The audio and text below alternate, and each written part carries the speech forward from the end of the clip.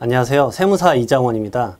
세무조사관의 시각으로 보는 병원 세무접근법 5분 특강. 이번 시간은 면세 병원의 사업장 현황 신고에 대해서 알아보도록 하겠습니다.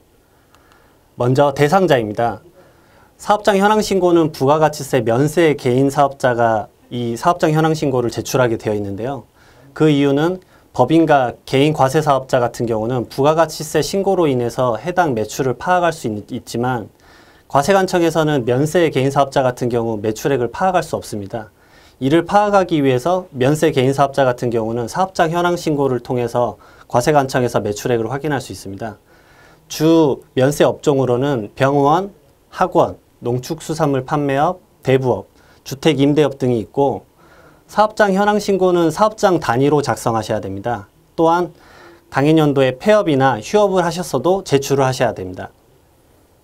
다음으로 신고 기한입니다. 신고 기한은 다음해 2월 10일까지인데요. 2018년 사업장 현황 신고 같은 경우는 2019년 2월 10일까지 해야 되지만 2019년 2월 10일이 일요일입니다. 그래서 신고 기한의 종료일이 공휴일인 경우에는 그 다음 날까지 신고 기한이 마감되게 되어 있습니다. 다음으로는 사업장 현황 신고 관련한 첨부 서류인데요. 그 필수 서류와 해당자에 관련된 서류가 나뉘어져 있습니다. 필수 서류는 사업장 현황 신고서, 그리고 의료업자 수익금액 검토표가 있는데요. 병원 같은 경우는 의료업자 수익금액 검토표를 항상 작성하여야 하고 그 다음에 해당자의 해당 사항은 매출과 매입차별 계산서가 있는 경우 또는 매입차별 세금 계산서가 있는 경우에는 각각의 합계표를 추가적으로 제출하여야 합니다. 또한 수익금액 검토 부표라는 것이 있는데요. 그 병가 중에서 성형외과, 안과, 치과, 피부과, 한의원은 추가적으로 수익금액 검토 부표를 통해서 비보험 수익이 많기 때문에 이 부분에 대한 체크를 하려고 수익금액 검토 부표를 추가적으로 작성하셔야 합니다. 다음으로는 사업장 현황 신고에 대한 가산세인데요. 첫 번째로는 의료업, 수의업, 약사업 사업자가 수익금액을 무신고 또는 과소신고한 경우에는 수익금액의 0.5%를 부과하기 때문에 이 수익금액에 대한 그 가액을 아주 정확하게 작성하셔야 합니다.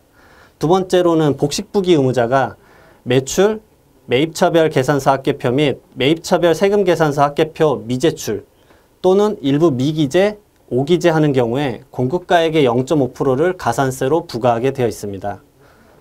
이 해당 사업장 현황 신고를 왜 작성을 잘해야 되는가? 그 이유는 그 세무조사는 사업장 현황 신고서의 그 검토로부터 시작된다고 볼 수 있는데요.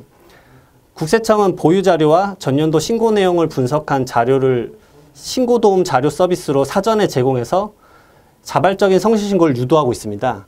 여기서 가장 유념해야 될 유형은 이 가 유형입니다. 가 유형은 신고 분석 사항 제공자로서 작년의 경우는 18,000여 명이 이 신고 분석 사항 제공자가 되었는데요. 이 가 유형이 왜 조심하여야 하는 이유는 첫 번째로 비보험 비율이 낮은 의료업자, 두 번째로는 신용카드 등 매출 비율이 높은 자, 세 번째로는 종합소득세 신고 대비 사업장 현황 신고 수익 금액이 과소 신고된 자가 신고 분석 사항 제공자입니다. 즉 세무조사로 언제든지 확대될 수 있는 유형에 대한 일종의 국세청의 압박이라고 볼 수 있습니다. 이 가 유형에 해당하시는 분들은 사업장 현황 신고도 종합소득세와 마찬가지로 상당히 유념하셔서 작성하시면 될 것 같습니다. 이상으로 면세 병의원의 사업장 현황 신고 5분 특강이었습니다. 감사합니다.